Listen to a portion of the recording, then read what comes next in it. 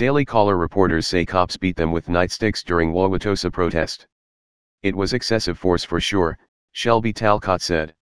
Two reporters for the conservative news outlet Daily Caller said they were beaten with nightsticks by police as they reported on an anti-police protest Thursday night in Wauwatosa, WIS. Shelby Talcott, 27, and Richie McGinnis, 31, said they were injured during the encounter with Wauwatosa police. It was excessive force, for sure, Talcott told Fox News on Friday. Nobody was resisting. When police told us to do something, we complied. She said a ranking officer ordered them released after they proved to him that they were members of the media.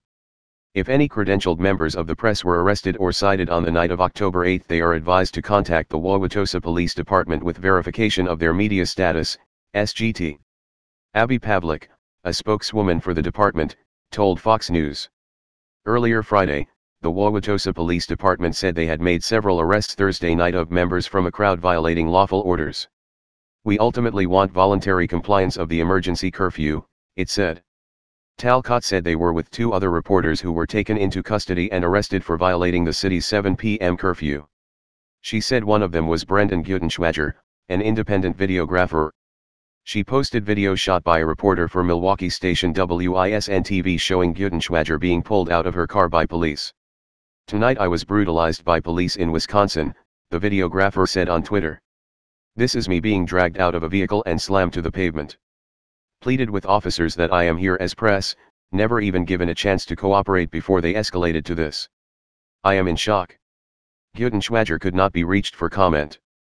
He, Talcott and McGinnis were reporting on a gathering of protesters angry that prosecutors found no reason to arrest a Wauwatosa officer in the shooting of a black teen Alvin Cole earlier this year.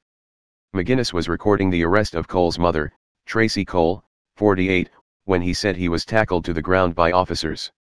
Yes sir, I have press credentials right here, he is heard saying in video of his encounter with the officers. He told Fox News he was left limping after one cop whacked him in the knee with a nightstick. Talcott was arrested recently covering a protest over the Breonna Taylor shooting in Louisville. She was charged with two misdemeanors in a case that is still pending.